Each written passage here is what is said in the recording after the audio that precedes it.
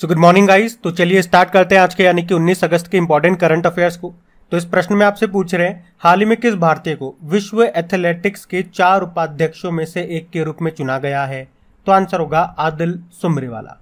अब ये आदिल सुमरीवाला, ये नाम आपने पहले भी सुन रखा है। कौन है ये? तो ये एथलेटिक्स फेडरेशन ऑफ़ इंडिया के अध्यक्ष हैं वर्तमान में। और अभी इन्हीं को वर्ल्ड एथलेटिक्स के चार उपाध्यक्षों में से एक के रूप में चुना गया है। जो ग्लोबल ट्रैक एंड फ़ील्ड प्रबंधन संगठन में किसी भी भारतीय का सबसे ऊँचा पद है। तो इन्हें चार सालों के लिए चुना गया है। देखो, भारतीय एथलेटिक्स फेडरेशन की बात हुई एथलेटिक्स फेडरेशन ऑफ़ इंडिया स्थापना होती 1946 में। नई दिल्ली में मुख्यालय है। आपने का अध्यक्ष आदिल सुमरीवाला है। लेकिन अगर वर्ल्ड एथलेटिक्स की बात करें तो वर्ल्ड एथलेटिक्स की बात करें तो स्थापना इसकी होती है 1912 में। हेडक्वार्टर मोनाको में है। और इसके प्रेसिडेंट कौन है? सेबेस्टियन कोए और इसके चार उपाध्यक्षों में से एक भारतीय बने हैं, उनका नाम आदल सुमरी वाला है। एक वर्ल्ड एथलेटिक्स डे भी होता है यह हम सात मई को मनाते हैं। बाकी और भी मैं आपको नाम याद दिलाऊँगा जो भी न्यूज़ में थे, जैसे कि गंजा कमला बिराव गंजा नहीं, गंजी कमला बिराव फसाई के सीईओ बने, Santosh Kumar Yadav national highways authority of India के अध्यक्ष बने और प्रवीण शर्मा। राष्ट्रीय स्वास्थ्य प्राधिकरण नेशनल हेल्थ अथॉरिटी के ये अध्यक्ष बने। तो ये नाम भी ध्यान रखना, बढ़ते हैं आगे। चलिए फिर बताइए। अभी श्रीहरिकोटा से लॉन्च होगा दुनिया का पहला थ्री रॉकेट नाम पूछ रहे हैं, उस रॉकेट का नाम बताओ। तो आंसर होगा अग्निबाण। तो रॉकेट का नाम है अग्निबाण। किसने बनाया? चेन्नई की एक प्राइवेट स्पेस कंपनी है, जिसका नाम है अग्निकूल कॉस्मॉस इसने बनाया है। और इसे श्रीहरिकोटा के सतीश धवन अंतरिक्ष केंद्र से लॉन्च किया जाएगा। और ध्यान से सुनना, अगर ये रॉकेट सफलतापूर्वक धरती के लोअर ऑर्बिट में पहुँचता है तो ये जो अग्निकुल कॉस्मोस नाम की जो ये स्पेस कंपनी है, ये देश की दूसरी प्राइवेट रॉकेट भेजने वाली कंपनी बन जाएगी। अच्छा अब आप लोग ज़रूर सोचेंगे कि अगर ये दूसरी प्राइवेट कंपनी बनेगी ऐसा करने वाली तो पहली कौन सी थी फिर? तो पहली थी स्काई रूट एरोस्पेस। बाकी अग्निबाण रॉकेट की बात करें तो ये सिंगल स्टेज का रॉकेट है और इसके इंजन का नाम है अग्नि लेट इंजन। ये इंजन पूरी तरह से थ्री प्रिंटेड है। और ये जो अग्नि बाण रॉकेट है, इसकी कैपेसिटी की बात करें तो 100 किलोग्राम तक के सैटेलाइट्स को धरती से उसकी निचली ऑर्बिट, जो लोअर ऑर्बिट है, निचली कक्षा है, वहाँ पे स्थापित करने में ये सक्षम है। देखो, इस कंपनी की बात करें, जो ये अग्निकूल कॉस्मोस स्पेस स्टार्टअप है, इसकी स्थापना हुई थी 2017 में। इसका हेडक्वार्टर आपको पता ही लग गया, चेन्नई में है। साथ में आपको बता दूँ, जो आनंद महिंद्रा जी हैं, उनकी इसमें फंडिंग है। उन्होंने इसमें एट्टी थाउज़ेंड करोड़ के समथिंग इन्वेस्ट किया है। अब देखो, ये अच्छा क्वेश्चन है। यहाँ से कुछ इंपॉर्टेंट क्वेश्चन मैं आपको रिवाइज कराऊँगा, ध्यान से सुनना। अगर आपसे पूछा जाए कि किस राज्य में दुनिया का पहला थ्री प्रिंटेड मंदिर बनाया जा रहा है तो आंसर होगा तेलंगाना में, तेलंगाना के सिद्धि पेट में। अगर पूछे, भारत का पहला थ्री प्रिंटेड पोस्ट ऑफ़िस कहाँ पे बन रहा है तो आंसर होगा बंगलुरु में। और निर्मला सीतारमन जी, जो हमारी वित्त मंत्री हैं, इन्होंने इन्होंने किस आईआईटी में भारत के पहले थ्री प्रिंटेड घर का उद्घाटन किया था? आईआईटी मद्रास। आपको याद है, इसरो ने अपना सबसे छोटा रॉकेट लॉन्च किया था, उसका नाम क्या था? S S L V D two मतलब शॉर्ट सैटेलाइट लॉन्च व्हीकल कहाँ से लॉन्च किया था? सतीश धवन अंतरिक्ष केंद्र से ही। और भारत का पहला निजी तौर पर विकसित रॉकेट का नाम क्या है? विक्रम एस है। इसे स्काई रूट कंपनी ने बनाया ये मैंने आपको बताया भी था अभी। और अगर पूछे कि भारत का पहला निजी तौर पर क्रायोजेनिक रॉकेट इंजन का परीक्षण किया गया, उसका नाम क्या था? उसका नाम था धवन वन। पढ़ाया आपने इसके बारे में। अच्छा यूँ बताओ, इसरो जो है, ये छोटे उपग्रहों के प्रक्षेपण के लिए नया स्पेस पोर्ट कहाँ पे बनाएगा? तो आंसर होगा तमिलनाडु में। और अभी दुनिया का पहला मिथेन संचालित रॉकेट जिसका नाम है जू के टू इसको किसने लॉन्च किया था? चाइना ने लॉन्च किया था। और अगर पूछे ना, भारत का सूर्य मिशन कौन सा है? Aditya L one. तो इसे लॉन्च करेंगे हम किससे? P S L V C सत्तावन रॉकेट से। और रॉकेट तो ये भी पूछ सकते हैं कि अभी हमारा जो चंद्र थ्री मिशन था, यानी कि चंद्रयान थ्री इसको अभी हमने चौदह जुलाई को लॉन्च किया था। किस रॉकेट से? L V M three M four rocket से, जिसे हम बाहुबली रॉकेट भी कहते हैं। तो ये पॉइंट्स ध्यान रखना, बढ़ते आगे। फिर बताइए अभी हाल ही में विश्व मानवतावादी दिवस कब मनाया गया? तो आंसर होगा 19 अगस्त को। तो हर साल 19 अगस्त को वर्ल्ड ह्यूमैनिटेरियन डे के रूप में मनाया जाता है। अब अगर बात करें कि 19 अगस्त को ही क्यों मनाते हैं तो 19 अगस्त 2003 को इराक की कैपिटल बगदाद में यूनाइटेड नेशन के मुख्यालय पर हमला हुआ था, जिसमें 22 कर्मचारी मारे गए थे। तो उसके बाद 2008 में यूनाइटेड नेशन महासभा ने 19 अगस्त को विश्व मानवतावादी दिवस के रूप में घोषित किया था। और इस बार की थीम क्या है? नो मैटर वॉट अच्छा इसी से मिलता जुलता एक डे है जो आपको कंफ्यूज कर सकता है एग्ज़ाम में। वो है मानवाधिकार दिवस ह्यूमन राइट्स डे ये है मानवतावादी दिवस वर्ल्ड ह्यूमैनिटेरियन डे तो ह्यूमन राइट डे कब मनाते हैं? 10 दिसंबर को मनाते हैं, ये आप ध्यान रखना। चलो फिर अगस्त के इंपॉर्टेंट डेज़ को एक बार रिवाइज करते हैं। एक अगस्त को मुस्लिम महिला अधिकार दिवस मनाया, एक अगस्त को विश्व लंग कैंसर दिवस था और एक अगस्त को वर्ल्ड वाइड वेब डे था। एक से लेकर सात अगस्त को हमने विश्व स्तनपान सप्ताह भी मनाया, ये भी ध्यान रखना। दो अगस्त को अर्थ ओवरशूट डे, छह अगस्त को हिरोशिमा डे, सात अगस्त को नेशनल हैंडलूम डे, नौ अगस्त को नागासाकी डे और विश्व आदिवासी दिवस, दस अगस्त को वर्ल्ड लायन डे बारह अगस्त को वर्ल्ड यूथ डे और वर्ल्ड एलिफेंट डे। तेरह अगस्त को वर्ल्ड ऑर्गन डे और अभी चौदह अगस्त को आपने विभाजन विभिषिका दिवस के रूप में मनाया था। तो ये अगस्त के इंपॉर्टेंट डेज़ इनको ध्यान रखना, बढ़ते आगे। फिर बताइए, अभी हाल ही में भारत ने वास्तविक समय में बाढ़ अपडेट के लिए एक एप्लीकेशन को लॉन्च किया, उसका नाम बताओ। तो आंसर होगा फ्लड वॉच तो अभी भारत सरकार ने मानचित्रों का प्रयोग करके वास्तविक समय रियल टाइम में बाढ़ की जानकारी प्रदान करने के लिए फ्लड वॉच नाम से एक मोबाइल एप्लीकेशन को लॉन्च किया है। तो ये एप्लीकेशन राज्यवार बाढ़ पूर्वानुमान 24 घंटे तक या बाढ़ सलाह सात दिन तक दे सकता है। अच्छा एक प्रश्न मैं आपसे पूछता हूँ कि अभी कुछ महीने पहले की बात है। वर्ल्ड बैंक ने किस राज्य की बाढ़ प्रबंधन परियोजना के लिए 108 मिलियन डॉलर के लोन को मंजूरी दी थी? तो इसका उत्तर याद रखना असम को, असम सरकार को। बढ़ते आगे। चलिए, फिर बताइए। हाल ही में लावारिस जमाओं को ट्रैक करने के लिए आरबीआई ने किस नाम से पोर्टल लॉन्च किया? तो आंसर होगा उद्गम। तो अभी आरबीआई ने कई बैंकों में लावारिस जमाओं को ट्रैक करने के लिए उद्गम नाम से एक पोर्टल लॉन्च किया है। उद्गम की फुल फॉर्म क्या होती है? Unclaimed deposits gateway to access information तो ये पोर्टल आरबीआई के द्वारा जनता के उपयोग के लिए डेवलप किया गया है, ताकि उन्हें एक ही स्थान पर कई बैंकों में अपनी बिना क्लेम हुई राशि की जानकारी हो सके। अब आरबीआई ने लॉन्च किया तो इसके बारे में जानते हैं। Reserve bank of India, Bharat का सेंट्रल बैंक। स्थापना होती है एक अप्रैल 1935 को, हेडक्वार्टर मुंबई में है। और अगर पूछे ना कि आरबीआई की स्थापना किस समिति की सिफारिश पे होती है तो यंग हिल्टन आयोग। राष्ट्रीयकरण हुआ इसका एक जनवरी उन्नीस सौ वर्तमान में गवर्नर कौन है? शक्तिकांत दास है, पच्चीसवें नंबर के हैं। अभी इनको गवर्नर ऑफ़ द ईयर का अवार्ड भी मिला था। गवर्नर से दो नाम और याद आएँगे। पहले ब्रिटिश गवर्नर का नाम ऑसबॉर्न स्मिथ है। पहले इंडियन गवर्नर का नाम सी डी देशमुख है। और ये आपको लोगो दिख रहा है, इसमें एक पेड़ है जिसे कहते हैं ताड़ का पेड़ पाम ट्री जानवर है रॉयल बंगाल टाइगर और अभी आपने पढ़ा था आरबीआई ने यूपीआई लाइट के लिए प्रति लेन देन की सीमा को दो सौ रुपए से बढ़ा के पाँच सौ रुपए कर दिया। अभी आरबीआई के नए डेप्यूटी गवर्नर बने थे स्वामीनाथन जानकी रमन और अभी अंतरदृष्टि पोर्टल को भी आरबीआई ने लॉन्च किया था। आरबीआई ने ही हंड्रेड डेज़ हंड्रेड पेज नाम से अभियान शुरू किया था और आरबीआई ने नागरिकों को डिजिटल भुगतान से जोड़ने के लिए हर पेमेंट डिजिटल नाम से भी अभियान शुरू किया था। तो ध्यान रखना ये पॉइंट्स बढ़ते आगे। चलिए, फिर बताइए, अभी हाल ही में किसने जॉर्डन में आयोजित अंडर ट्वेंटी महिला विश्व कुश्ती चैंपियनशिप में स्वर्ण पदक जीता? तो आंसर होगा प्रिया मलिक। बात कर रहे हैं यहाँ पे under twenty world wrestling championship की, जिसका आयोजन हुआ कहा? जॉर्डन में। तो इसमें भारतीय पहलवान है प्रिया मलिक। इन्होंने गोल्ड जीता है। और ये प्रश्न क्यों इंपॉर्टेंट है? क्योंकि इस तरह अंडर ट्वेंटी विश्व चैंपियनशिप में गोल्ड जीतने वाली वे भारत की दूसरी महिला पहलवान बन गई हैं। अब आप कहोगे, ये दूसरी बन गई तो पहली कौन थी? तो उनका नाम था अंतिम पंघाल।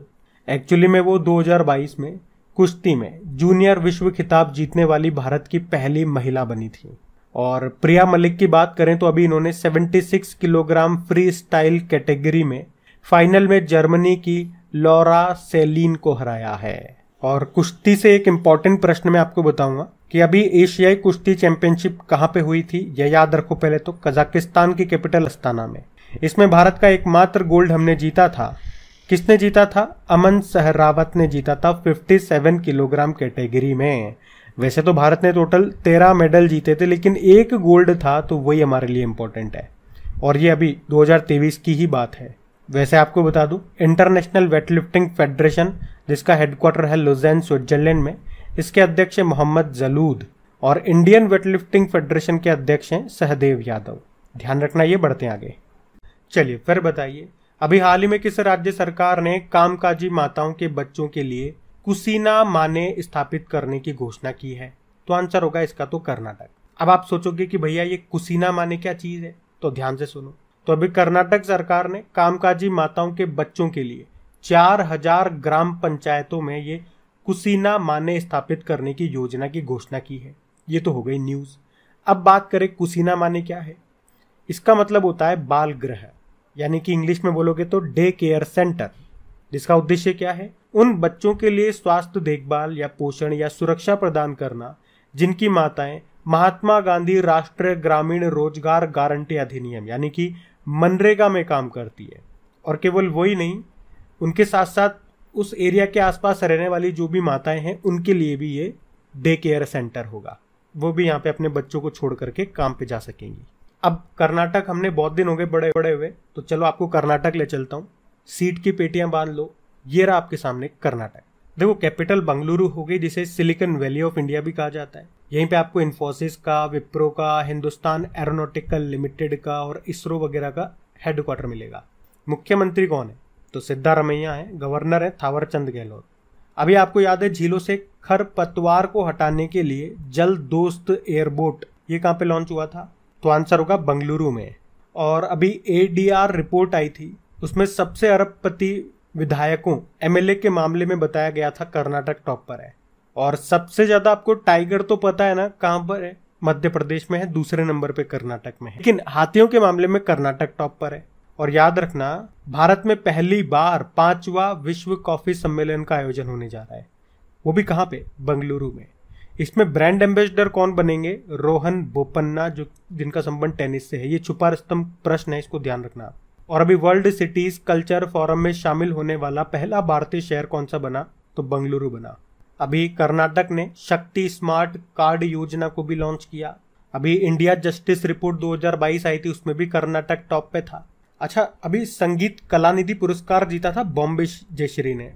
वे कर्नाटक से हैं।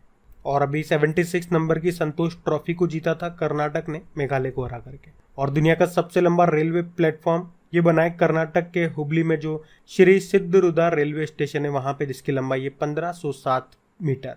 तो ध्यान रखना ये पॉइंट्स अच्छा एक और प्रश्न यहाँ से बन जाएगा कि एशिया का सबसे बड़ा हेलीकॉप्टर कारखाना कहाँ पे खोला? हिंदुस्तान एरोनॉटिकल लिमिटेड ने। तो कर्नाटक के तुमकुरु में।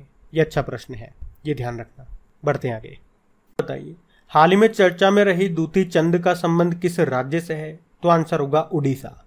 दो, दूती चंद, वे उड़ीसा की रहने वाली है। और वे भारत की सबसे तेज महिला एथलीट और राष्ट्रीय हंड्रेड मीटर रिकॉर्ड धारक के रूप में प्रसिद्ध भारतीय फर्राटा धाविका दूती चंद। अभी ये चर्चा में क्यों है? इनके बारे में हम क्यों बात कर रहे हैं? आप जानते ही हो, एथलीट हैं, उड़ीसा की रहने वाली हैं। भारतीय फर्राटा धाविका है ये। एक्चुअली में अभी डॉप टेस्ट हुआ इनका, डोपिंग टेस्ट हुआ, उसमें ये पॉजिटिव पाई गई, जिसके कारण उन पे चार साल का प्रतिबंध लगा दिया गया। ये बहुत बड़ी बात है इनके लिए। इन्होंने भारत के लिए काफ़ी मेडल जीते हैं। काफ़ी रिकॉर्ड इन्होंने बनाए, लेकिन इसके बाद डॉपिंग टेस्ट में पॉजिटिव आना और चार साल का प्रतिबंध लगना। तो आपको इनके बारे में पता होना चाहिए। डॉपिंग का मतलब अगर किसी को नहीं पता तो मैं हल्का सा बता दूँ आपको। अगर आप खिलाड़ी हैं तो वहाँ पे क्या होता है, कुछ प्रतिबंधित दवाएँ होती जिसे स्टेरॉइड्स बोला जाता है, वो आपकी क्षमता को बढ़ा देते हैं इंस्टेंटली जिससे आप अच्छा परफॉर्म कर पाते हो। तो स्पोर्ट्स यानी कि खेल के क्षेत्र में ऐसी दवाओं पे प्रतिबंध लगाया जाता है। अगर आप ऐसी दवाओं का इस्तेमाल करते हो तो फिर आपके खिलाफ कार्रवाई की जाती है, सख्त कार्रवाई, जिसमें जैसे कि आप पे बैन लगा दिया, बैन ही लगाते हैं और बैन लगाने से खिलाड़ी का मतलब यूँ समझ लो करियर लगभग ख़त्म हो जाता है। चार चार, पाँच पाँच साल के बैन लग जाते हैं। फिर आपने जो भी मेडल जीते होंगे, अतीत में, पास्ट में, फिर सब पे शक की निगाहों से देखा जाता है कि यार मतलब ये तो चीटिंग करके लाया होगा। जैसे कि नहीं होता क्या एग्ज़ाम में आपने टॉप करा टॉप करा टॉप करा, एक बार चीटिंग चिट मिल गए आपके पास चीटिंग या चिट जैसे भी आप चीटिंग करते हुए पाए गए। तो फिर आप पे ऊपर बैन लगा दिया जाता है कि चार साल तक आप कोई भी एग्ज़ाम नहीं दोगे। मतलब एक सपोज़ वो एक उदाहरण किसी पे लगा दिया जाता है। तो फिर बाद में पब्लिक उसके आसपास की रहने वाली ये सब सोचते अरे, बचपन में हम तो सोचते रहे टॉप करा है टॉप करा है। चीटिंग करता होगा, आज भी चीटिंग करिए, पहले भी। ताने मारते हैं लोग। अब अब करा नहीं करा, वो तो हमें नहीं पता। हम चर्चा नहीं कर रहे हैं उस बारे में। मैंने आपको समझाना था बस ये। बाकी नाडा की बात करते हैं तो नेशनल एंटी डोपिंग एजेंसी, इसी ने प्रतिबंध लगाया इन पर और वर्ल्ड वाइड जो ये देखने वाले हो भाई, भारत में ये काम सौंप रखा है नाडा को। और दुनिया में इसकी जो मेन एजेंसी है, उसका नाम है वाडा वर्ल्ड एंटी डोपिंग एजेंसी और नाडा का हेडक्वार्टर नई दिल्ली में है, जबकि वाडा का है मॉन्ट्रियल, कनाडा में। तो यह ध्यान रखना, बढ़ते हैं आगे। अभी हाल ही में किस देश के तेज गेंदबाज वहाब रियाज ने अंतरराष्ट्रीय क्रिकेट से संन्यास ले लिया? तो आंसर होगा पाकिस्तान। तो अभी पाकिस्तान के तेज गेंदबाज वहाब रियाज ने अंतरराष्ट्रीय क्रिकेट से संन्यास ले लिया। उन्होंने क्रिकेट में डेब्यू किया था सन 2008 में। लेकिन अभी संन्यास ले लिया तो इनका नाम ध्यान रखना, पाकिस्तान के हैं। बढ़ते आगे। फिर आपको बताना है, अभी हाल ही में किसने U E F A super cup 2023 को जीता? तो आंसर होगा मैनचेस्टर सिटी ने। तो यहाँ बात कर रहे हैं U E F A super cup 2023 की। इसे जीत लिया है मैनचेस्टर सिटी ने। किसे हराया? तो आंसर होगा सेविला को हराया है। तो इसमें बस याद रखने के लिए इतना ही था। किसने जीता? क्या है ये? U E F A super cup 2023 संबंध इसका फुटबॉल से है। तो आज की फटाफट वाली सीरीज़ में मैं आपके लिए लेकर के आया हूँ। जो भी साल भर में इंपॉर्टेंट सप्ताह, जो वीक हम मनाते हैं ना भाई डेज़ तो पढ़ते ही रहते हैं। हम बीच बीच में कोई इंपॉर्टेंट वीक आता है तो मैं आपको बताता हूँ। जैसे कि अभी अगस्त में हमने देखा वर्ल्ड ब्रेस्ट फीडिंग वीक विश्व स्तनपान सप्ताह। तो इस तरह के जो भी इंपॉर्टेंट सारे इंपॉर्टेंट जो भी सप्ताह होते हैं, वो मैं लेकर के आ गया आपके सामने।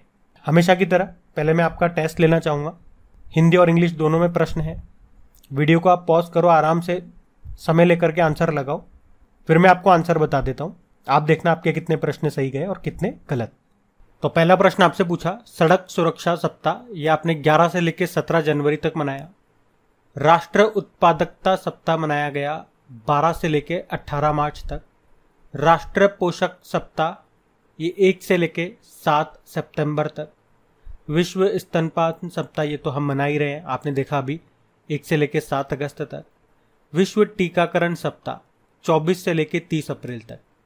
विश्व जल सप्ताह ये इस बार हम मना रहे हैं बीस से लेकर चौबीस अगस्त तक।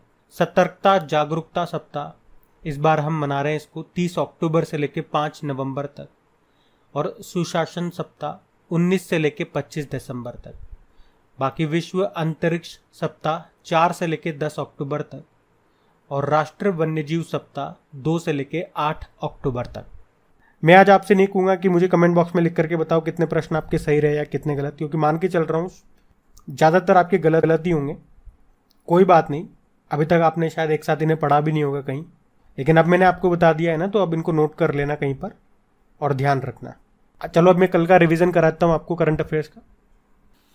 तो पहला प्रश्न आपसे पूछा, किस मंत्रालय ने अभी प्रधानमंत्री उषा योजना को शुरू किया? तो आंसर होगा शिक्षा मंत्रालय।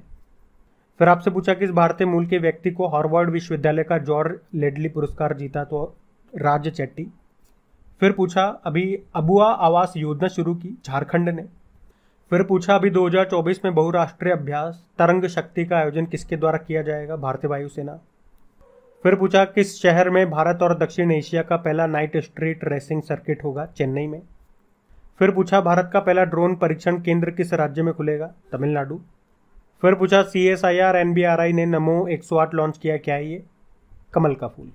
फिर पूछा, अभी नशीली दवाओं के खतरे से लड़ने के लिए कोलकाता में नशा मुक्त बंगाल अभियान को किसने शुरू किया? राष्ट्रपति द्रौपदी मुर्मू। फिर पूछा, Irfan, a, life in movies नाम की बुक को लिखा, शुभ्रा गुप्ता। और फिर पूछा, डीआरडीओ के पूर्व प्रमुख का निधन हो गया, नाम बताओ, वी एस अरुणाचलम। वीडियो अभी भी लाइक नहीं किया तो लाइक कर देना और शेयर भी कर देना। अभी कल का होमवर्क प्रश्न देखते हैं और सेशन एंड करते हैं। तो कल के वीडियो में आपसे पूछा गया था कि director general of geological survey of India कौन बने तो आंसर होगा जनार्दन प्रसाद। आप सभी ने प्रश्न का बिल्कुल सही उत्तर दिया है। अब ये रहा आज का आपका होमवर्क प्रश्न।